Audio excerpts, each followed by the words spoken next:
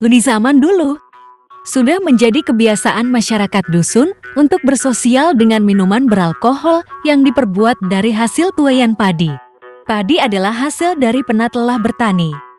Maka ia juga menjadi alat pemersatu masyarakat dusun secara sosial.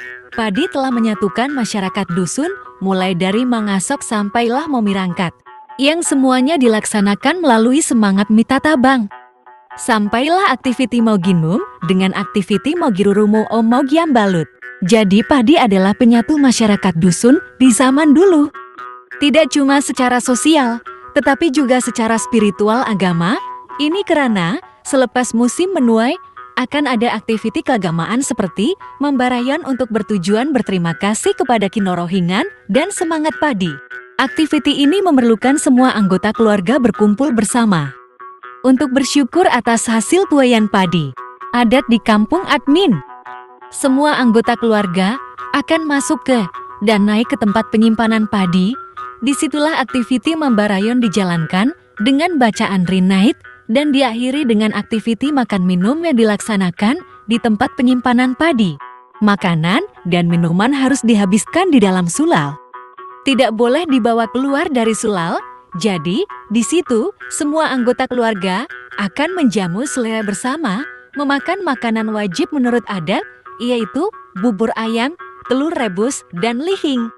Jikalau admin mendengar rinait yang diucapkan nenek untuk Bambarayon, ia berisikan seruan, penghormatan, dan ucapan terima kasih kepada semangat Bambarayon.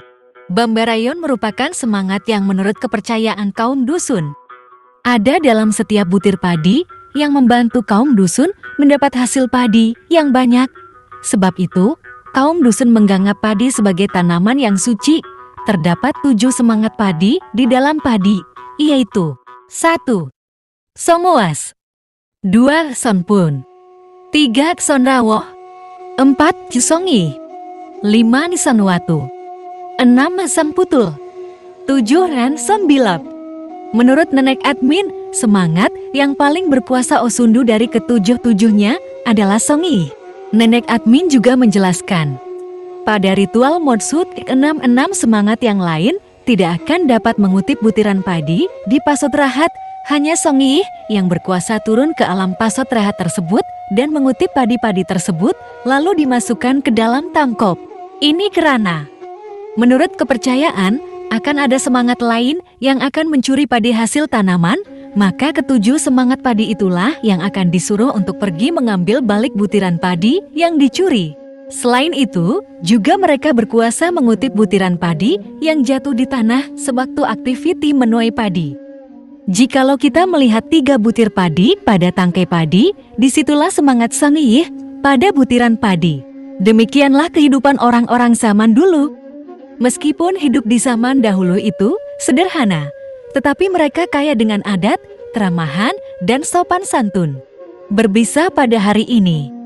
Ketika adat istiadat lokal mulai dilupakan dan digantikan dengan adat postmodernisme, akhirnya memunculkan masyarakat dusun semakin tidak bersatu dan tidak beradat.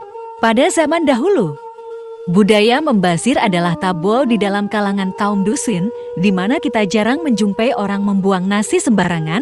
Ini karena padi masih dihormati karena dianggap memiliki semangat.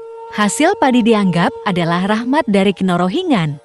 Maka padi nasi dianggap suci dan harus dihormati oleh kaum dusun pada zaman dahulu tidak hanya karena ia adalah rahmat rezeki dari Sang Pencipta, tetapi juga karena ia memiliki jiwa yang harus dihargai seperti layaknya manusia.